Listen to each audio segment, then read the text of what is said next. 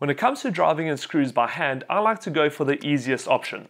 And this ratcheting screwdriver from Grip makes driving in fasteners twice as fast as a regular ratcheting screwdriver. Now what I really like about this screwdriver is it uses a very clever gear differential system to make one turn of the screwdriver the equivalent to two turns.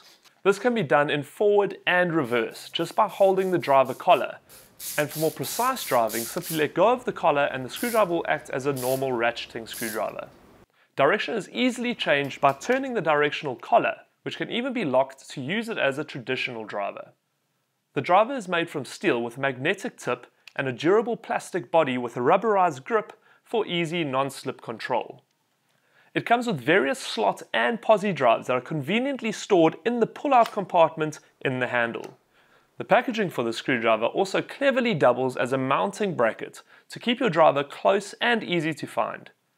Overall, a brilliant driver that halves the time spent driving in fasteners. And this is just one of the ratcheting screwdrivers available at Builders.